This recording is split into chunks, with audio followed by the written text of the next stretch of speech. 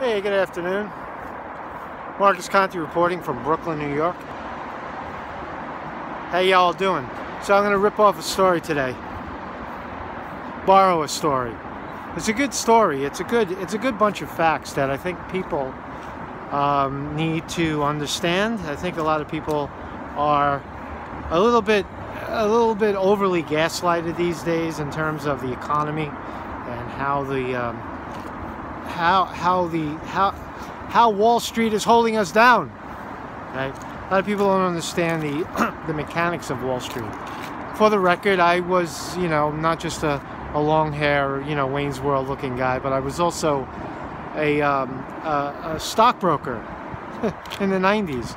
I wrote a book about using psychic phenomena to outwit the stock market. I was a trader uh, as well, trading my own account. So I know the, the I know the workings of Wall Street, and that's one of the messages I try to bring to the table, is that Wall Street is um, is uh, you know pretty much ripping off the American people, and I can tell you how they do it. Uh, that's part of what I've been trying to say. Um, you know, and also coming out of the 2008 crash, from there um, I became uh, involved with Occupy Wall Street in a very, very small way. I was witnessing it and watching it, but I wasn't really a fan of the way it was being done. But the message behind it that Wall Street uh, is uh, in bed with the government and it's it's the revolving door of government. How uh, how the big the Wall Street banks control the market. They control the government. So so let's just talk about this stuff. So Obama, um, right? So two uh, two uh, investigative reporters, Jack Carter and uh, Paul uh, Paul Blumens, Blumenthal, two journalists, right?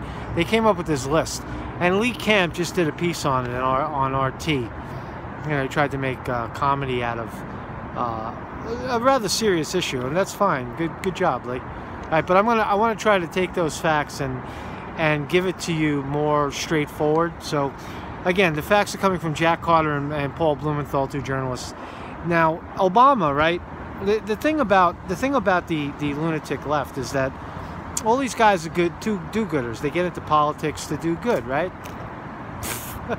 it's bullshit, right? Right? They use their position. They they they suck ass and kiss ass and you know, like the guy. You remember the other the guy in my video, the guy who works for the politician. And he's He's working there. He's holding a sign. You don't even know what the fuck he's holding, right? He's just holding the sign, right? He's paid to say stay, say stuff. So a lot of Obama's uh, uh, house, in my view, was was exactly like that. So one guy is uh, uh Jeh Johnson, G J E H Johnson. Now he was the head of Department of Homeland Homeland Security under Obama. So where is he now? He's on he's on the board of directors of Lockheed Martin, world's largest uh, American uh, uh, defense contractor, world's biggest weapons contractor. Lockheed Martin, LMT on New York Stock Exchange, right? It's trading at uh, $322 a share. Back in 08, right, when he was, I guess, in there, when Obama took over, it was $75 a share. Now it's $322 a share. So Obama's, uh, he's, you know, booming military industrial complex, right? And Jay Johnson, G, J, whatever, however he's pronouncing his name, is making 300 grand as a board of director for Lockheed Martin, right? A Wall Street firm, a publicly traded company, 51 billion dollars a year in revenue, 92 billion in market cap, right? He's also this guy's also became a contributing writer for the Washington Post. A CIA, a CIA cutout. Ah, fucking politics, right? You see, the it's the revolving door, right? Because this guy was head of the Department of Homeland Security, right? You start to understand how insider trading works, right? The Awan, the Awan brothers, how how the the uh, the information, right, not only positions of power like Homeland Security Director, but but but um, what goes on behind closed door congressional meetings, right? How uh, of the Awan spy ring was kind of showing us exactly how that information is is then sold out the back door via email, via you know George Webb speculated that it was done through BlackBerry photographs. We have no solid evidence of that, but we but the quid pro quo is well documented through the Clinton Foundation. So, so these guys. So again, it's these are politicians. They're supposed to work for you. So what do they do? They go join Lockheed Martin.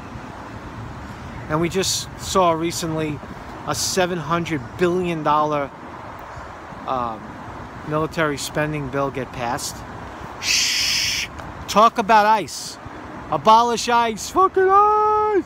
Right? Talk about anything but that kind of deal. All the Democrats went along with that. Why? Because they're all now they're all uh, they're they're all operatives, right? They're all lobbyists for the for you know for these corporations. They took positions that were supposed to reflect the people, and then once once they leave office, they run to the other side and they they lobby on behalf of the the military-industrial complex. It's fucking crazy, right? So who else? Melody Barnes, domestic poly, policy counselor, council director under Obama. 210k. Where is she now? 210k uh, for board. She's the uh, board of directors for Booz Allen Hamilton. That's another government contractor, right? They do cyber cyber solutions, artificial intelligence for the Defense Department, right? New York Stock Exchange, BHA, forty-six dollars a share, six hundred billion in market cap. Right? They all defecting. Who else? Eric Holder. You remember Eric Holder, the director, the uh, the um, Obama's Attorney General during 2008, the, the the bailouts. You remember this guy, Eric Holder? He's now a partner at a law firm called Covington and Burling. Works on behalf of the banking industry, right? Right? Well, he's a, he's a banking lobbyist. That's not necessarily a military industrial complex lobbyist, but he's a banking lobbyist, predatory lending lobbyist. You know, six, six banks control, you know, $20 trillion in American assets, right?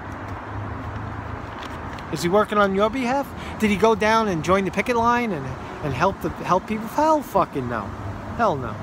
Lanny, uh, Lanny Breuer Obama's uh, assistant AG, right? Also a partner at that same company, Covington and Burlington. They're attorneys for the defense contractors. This shit is crazy. Right? There's more. Wait a second. There's a whole list. I got nine of them. Right? Mary Schapiro, former Obama uh, SEC commissioner, the chair of the SEC, right? A president gets to pick the chair of the SEC, Security and Exchange Commission. These are the organization, this is the commission that's supposed to regulate Wall Street, right?